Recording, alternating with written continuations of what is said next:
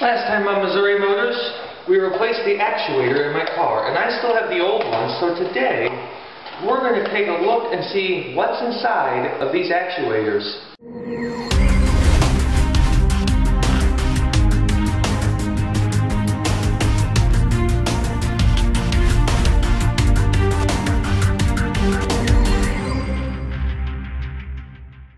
Welcome to Missouri Motors. My name is Bradley. And you may be wondering why I want to take apart one of these. Well, I get nosy and sometimes I wonder how things are designed, so we're going to take this one apart. And there's just a few clips that hold them on. You might be able to see them right here. But the thing is, though, instead of me trying to pry them off, I'm just going to take my screwdriver and break them off. I mean, this thing doesn't even work anymore, so it's completely useless.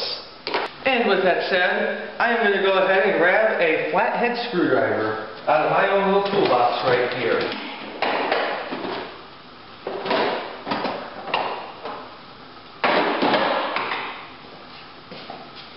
Alright, so let's get started.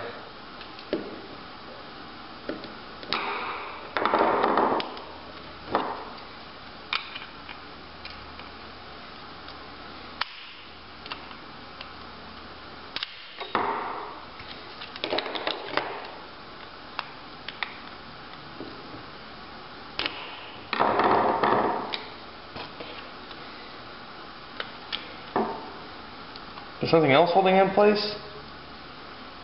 Oh yeah, there's two right here apparently. I didn't notice that until now.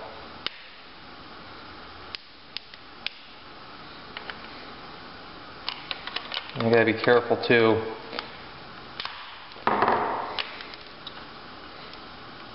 I just want to let you guys know that if you are planning to reuse any parts, do not break the plastic clips off of them. I mean, once you break them off, they're not going to stay together. But because this actuator doesn't work, I'm not worried about putting it back together. I just want to get it apart to see what it looks like on the inside, which I think I finally managed to get it off. I don't know if this is the correct way or the wrong way. Alright. So there's some gears in here as you can see. Um, okay, so this is the gear with the output shaft on it, as you could probably tell. It's got the little shaft right there. So this sends the power out to the, the uh, blend door right here. So this is what sends the power to the blend door. And then you got your little um, electric motor right here that will turn clockwise or counterclockwise to move this. And then this gear fits in between here. And as a matter of fact, it's got two gears, a small one and a big one. The big one connects to this small one right here, which has a big one right there. So it allows it to move back and forth. Now, this one is no longer good. However, it looks perfectly fine on the inside. It's kind of surprising because normally when you take these things apart, the gears are shredded in them. But the fact this one still looks okay is a miracle. So now you have a basic understanding of how this actuator works.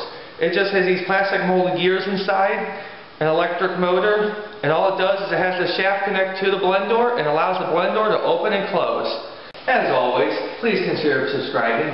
Eventually, we are going to have in one of our videos this 1967 Chevy Chevelle.